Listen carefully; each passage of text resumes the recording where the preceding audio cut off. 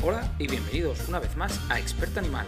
Hoy hablaremos de uno de los perros más elegantes y atléticos que existen, el braco de Weimar.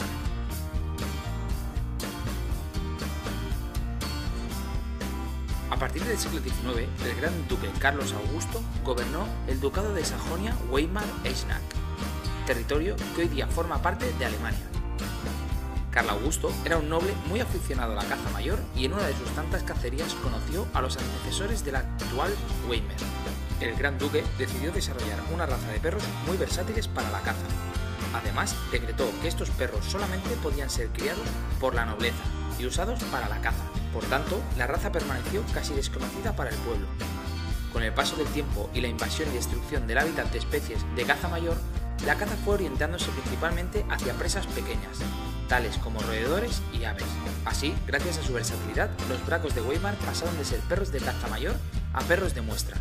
A mediados del siglo XX, el Weimaraner salió de su región natal gracias a Howard Knight, un aficionado de raza y miembro del club alemán de los bracos alemanes, que llevó algunos ejemplares a Estados Unidos y así empezó su expansión por todo el mundo. El Weimaraner es un perro hermoso, esbelto y de talla mediana o grande. Según el estándar de la FCI, los machos alcanzan una altura de cruz entre 59 y 70 centímetros, mientras que las hembras se sitúan entre los 57 y 65 centímetros. El peso ronda entre los 25 y 40 kilos de forma general. La variedad más conocida de esta raza es la de pelo corto, pero también existen los bracos de Weimar de pelo largo. Este perro es fuerte, musculoso y atlético. Siempre muestra un pelaje gris que puede variar ligeramente entre gris plateado, gris ciervo o gris ratón. Tradicionalmente se amputaba un tercio de longitud de su cola, pero afortunadamente hoy en día está prohibido en la mayoría de países, además de no ser un requisito del estándar de la Federación Cinológica Internacional. El Weimaraner es un perro muy dinámico, curioso, inteligente y leal. Si decidimos adoptar un perro de esta raza, nos sorprenderá su carácter dulce y entregado, así como su paciencia y bondad. Precisamente por este carácter tan positivo, el braco de Weimar es una de las razas más recomendadas para familias con niños mayores, familias jóvenes y personas en general con un ritmo de vida activo y estimulante. Por el contrario, no es una raza apropiada para personas sedentarias. Algo importante a mencionar es que sus instintos cazadores son fuertes y salen a flote con facilidad. Descubrirás pronto su afición por los juegos de buscar y su fijación por los juguetes con sonido. Por otro lado, el Weimaraner puede ser un perro algo desconfiado o tímido con los extraños.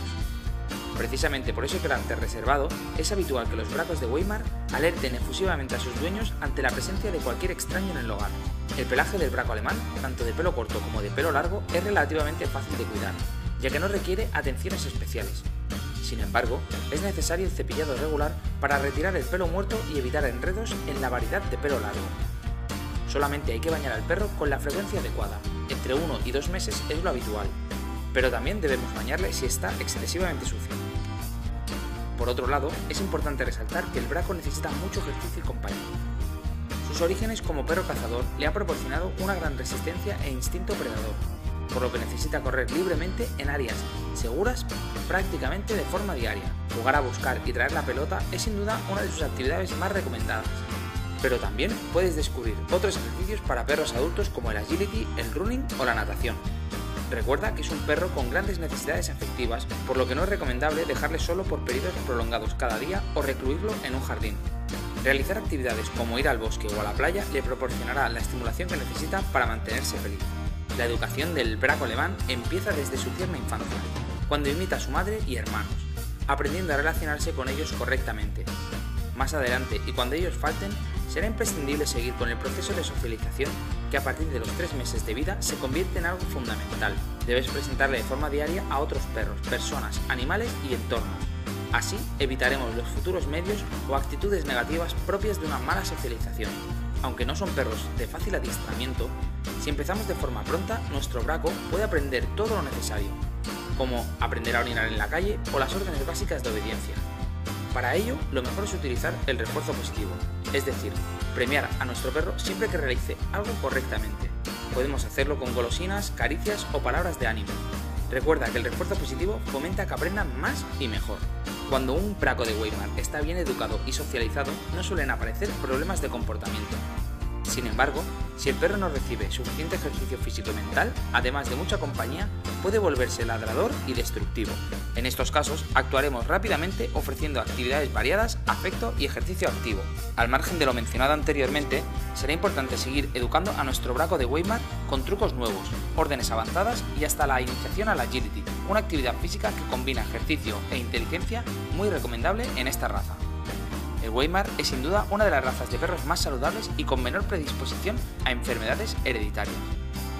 Aún así, el braco de Weimar es muy propenso a la torsión gástrica, por lo que hay que evitar que haga ejercicio inmediatamente antes y después de comer. Otras enfermedades que se presentan en esta raza con alguna frecuencia son la displasia de cadera o la enfermedad de von Willebrand. Para asegurar el buen estado de salud de tu braco, es imprescindible que visites al veterinario cada 6 meses. También será necesario para seguir correctamente su calendario de vacunación y la desparasitación regular que debe seguir. Si sigues nuestros consejos, disfrutarás de un perro sano y saludable por mucho tiempo. Y hasta aquí nuestro vídeo de hoy. Si te ha sido útil, dale al like y comparte con quien tú quieras. Y no olvides suscribirte a nuestro canal para saber todo sobre perros, gatos y otras mascotas. Hasta la próxima, expertos.